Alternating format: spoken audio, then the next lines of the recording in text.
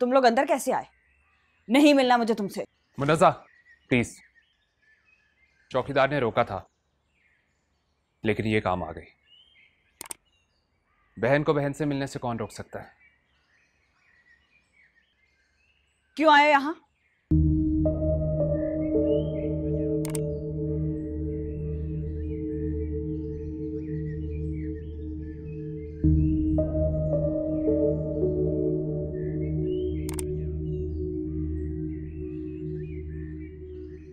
माफ़ी मांगने आया आई एम सॉरी बहुत जल्दी ख्याल आ गया।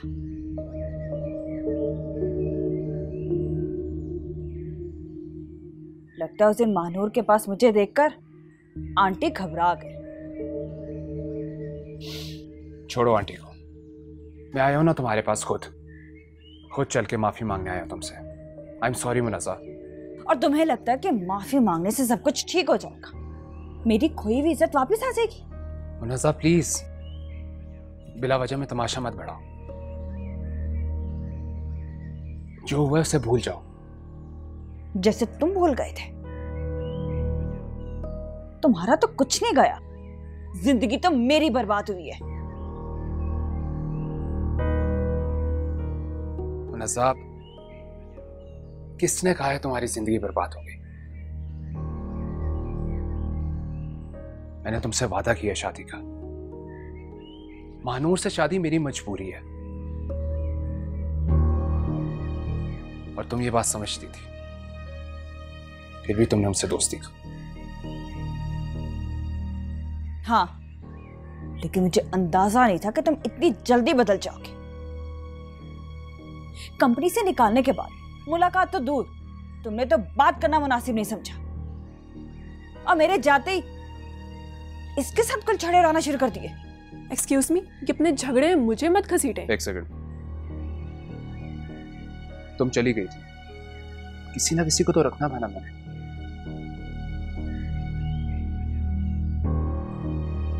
और अगर तुम कहती हो तो निकाल दो इसे। ताकि फिर एक नई लड़की को रख लो। सेक्रेटरी बनाकर। मुनजा प्लीज़ प्लीज़ बात को मत बढ़ाओ। मानूर का मसला खत्म हो जाए तो तुम जो कहोगी तुम जो भी कहोगी मैं वो करूँगा। सॉरी मिस्टर आबिद मानूर की तरह मैं आँखों देखी मक्खी नहीं निकल सकती। तुम पर अब बिल्कुल भरोसा नहीं कर सकती। अच्छा ठीक है मुझ पे भरोसा नहीं है। बाबा भी तो है ना वो तुमसे मिलना चाहते हैं। क्यों? क्यों मिलना चाहते हो मुझसे? उनको इन सारी बातों का पता चल गया। वो चाहते हैं कि हम बैठ के बात करके इस मसले का हल निकालें। गई थी मैं आंटी के पास। लेकिन उन्होंने मुझे दो टके की लड़की कहा ब्लैकमेलर कहा। ब्लैकमेलिंग क्या होती है मिस्टर आबिद? अब मैं बताऊँगी।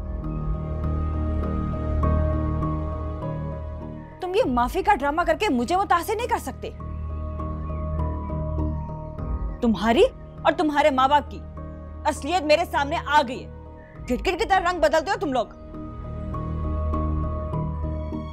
अपनी औकात में रहो। तुम अपनी हद पार कर रही हो। हद से बाहर तो तुम भी निकले थे। अपना मतलब पूरा होने के बाद मुझे कमरे से बाहर निकाल दिया और इसे रख लिया। कल इसे निकाल के किसी और को रख लोगे। लेकिन मैं महानूर की ज़िंदगी बर्बाद नहीं होने दूँगी। तुमने मेरे ख्वाब चकना चूर किए थे ना? मैं तुम्हारे ख्वाबों को आग लगा दूँगी। अपनी औकात में रहो। क्या कर रहे हो? हॉस्टल आएँगे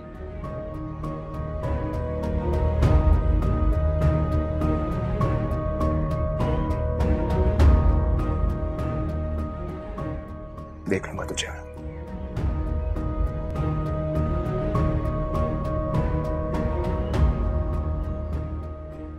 तुम भी इस नाक से बच के रहना। मैं तो इसके खानदान की लड़की थी। इसने मुझे अपनी हवस का निशाना बनाया। तुम्हारा क्या हाल होगा, खुद सोच लो।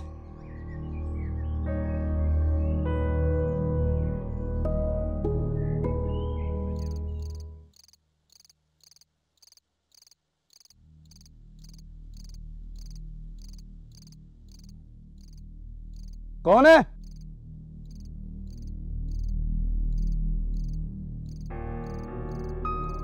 कौन हो? इधर क्या कर रहे हो? बाहर निकलो। बाहर आओ बाहर आओ। कौन है तुम? इधर क्या कर रहा है? मैं तो अपने घर जा रहा था रास्ता भूल गया गलती से यहाँ पे आ गया हूँ। पागल समझता है? हवेली के अंदर क्यों घूम रहा है? कौन है ये? क्या हो रहा है? गुल बाबा ये हवेली में घुसने की कोशिश कर रहा था।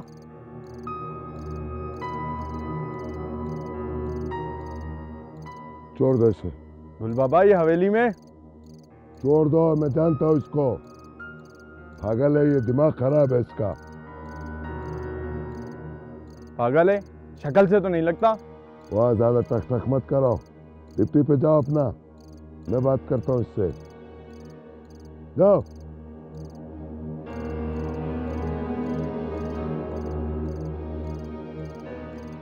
अगर मुझको देर हो जाती ना तो ये लोग तुमको गोली मार देते। अच्छा है ना? जान छूट जाती आपकी। सख्त कदम उठाने पे मजबूर मत करो, यूसुफ जई। मुझे तुम्हारे माँ बाप पे तरस आता है।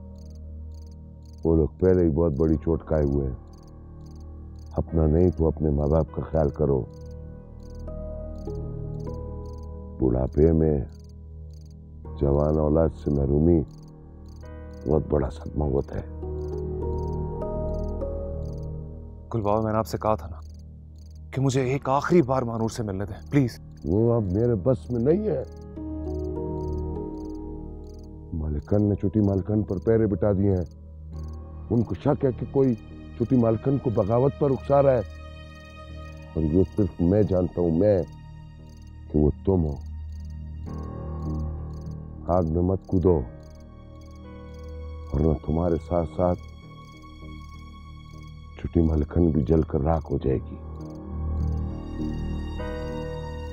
लेकिन गुल बाबा जाओ इधर से। शुक्र करो कि एक बार फिर मैं तुम्हें छोटी मालकन के सदके में ज़िंदा छोड़ रहा हूँ। जाओ। महल मना रहे। लाख बना ले। महल मना रे लाख बना ले, दिल न बसा तो क्या? इश्क दा बंदे आ फड़ ले, पल्ला